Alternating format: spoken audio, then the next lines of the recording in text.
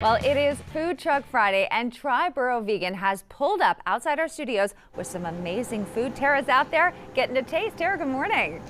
Yeah, Lisa, on this Debbie Downer of a Friday, can we find a bright spot? And the answer is yes, vegan. Joining us on this Friday is TriBoro Vegan. And joining me right now here is the owner, Nick. Thanks for being with us.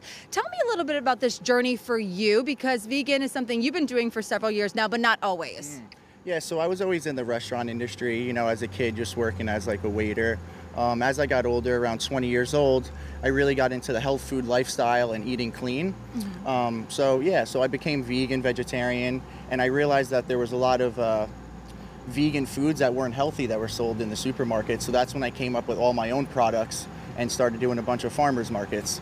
Um, so these are some of the products I have today. Take me through them. Come on over. All right. So this is our uh, gyro salad. So it's uh, all organic, local greens, tomato, cucumbers, onions, with a, a homemade lemon tahini, mm-hmm. and then uh, local oyster mushrooms. This is what I was like. Can you bring this? Yeah. You, so please? these are uh, these are a raw vegan pie. So these uh, these pies aren't baked. They're made with the, the crusts are made from seeds mm. and uh, nuts pretty much they're sweetened with dates and there's a bunch of mixed fruit. So today we have a strawberry, coconut, papaya, kiwi pie. Awesome. Burger, but so not your are, average. Yeah, so these are beet burgers. So they're actually made with shredded beets and bulgur wheat and we have a homemade cashew cheese and we put a bunch of local uh, greens as well.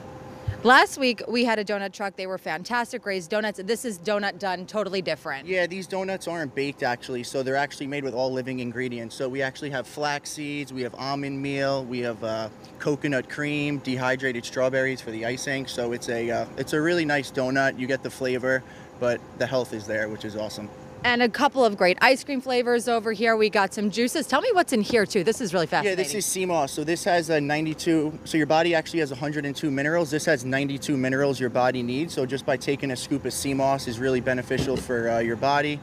Uh, the, the, sea moss comes from uh, Tanzania, Africa. So it's such a cool superfood. It's kind of like a like a sea vegetable, I would say. Unbelievable. This is a ginger shot. So these are just straight organic lemon and ginger juice, Love which is awesome.